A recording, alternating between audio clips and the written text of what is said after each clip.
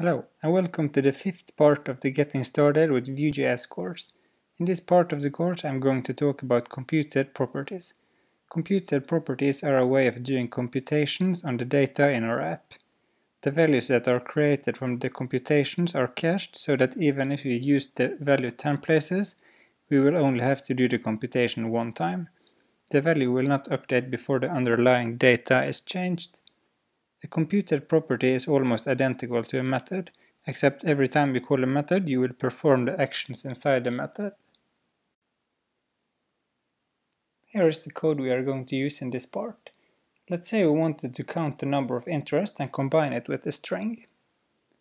If we want to print it up here, we can add one more expression, number of interests and under the data array we add one more property here called computed. Inside computed we can add this value and make it into a function. Inside the function we can return a string, number of interests,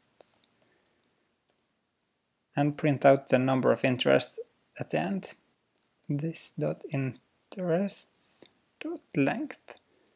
If I save that now and refresh, you will see that the number of interests are printed here. So that's basically how you use the computed properties.